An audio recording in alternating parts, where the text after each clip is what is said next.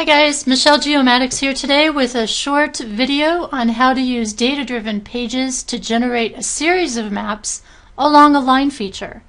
In my map here you can see my line feature is this blue river which represents Oak Creek that runs through Sedona. I've added some other data as well as a topographic base map. What I'd like to do is make a series of maps every two miles along Oak Creek. And here's how to do that. First off, I'm going to use data-driven pages, and since I don't have a polygon layer that represents the two-mile extents that I'd like to use, I'm going to use a geoprocessing tool to generate one for me. So it's in ArcToolbox. If you go to the Cartography Tools, Data-Driven Pages, we're going to use the Strip Map Index Features tool. It doesn't matter which license level you're running, these tools are available at all. So I'll double click to open the tool. And I just have to specify my input feature class, which is Oak Creek, and then my output feature, which I'll store it in a database and I'll just call it strip index. And I'll set my distance. So those are the only required parameters. You could let the software make default settings, but I want to set the distance along the creek that I want each map to represent. And as I indicated, I want that to be 2 miles. And I'm going to set the perpendicular distance outside the boundaries of the river to be 1.25 miles. Okay, so I'll go ahead and run this tool. And ArcMap adds it to my map so you can see the extent that each map will have. So I'm going to have a series of maps and each one will be the extent of one of these index features. So I'll turn this off and then jump over into layout view where I've already made a rough layout. I just added a title, a scale bar, and a north arrow and you can see my data here. So when you have your layout toolbar open, you can access data-driven pages from the data-driven pages toolbar from the very end of the layout toolbar.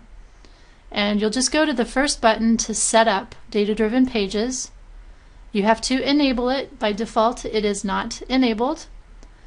Specify the data frame and the layer that you want to define the extent of each map, and that's going to be our strip index.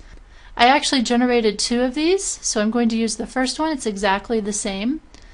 And you can look through these other settings. I'm going to accept my defaults. On the extent page, you might want to set the margin. And this extent has to do with how far outside of the data-driven page extent of each page the software will go. So I'm going to set it down to 100% and I'll go ahead and accept these settings and the software generated data-driven pages for me. So it starts here on the southern end of Oak Creek where I didn't have too many campgrounds or hiking trails. I'm going to go to the last page which will be the northernmost extent of Oak Creek, and scroll down from there, and you can see that each page represents Oak Creek, just a different portion of it. So you can see a campground feature here. Notice the scale bar and the north arrow are set accordingly. And as I scroll through, you can see different parts of Oak Creek.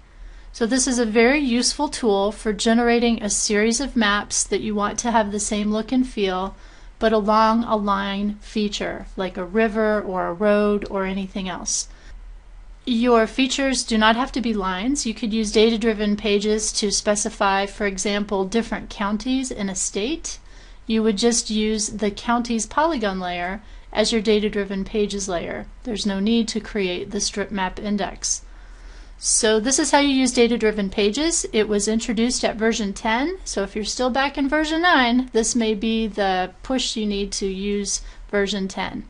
This is Michele GeoMattix saying goodbye for now.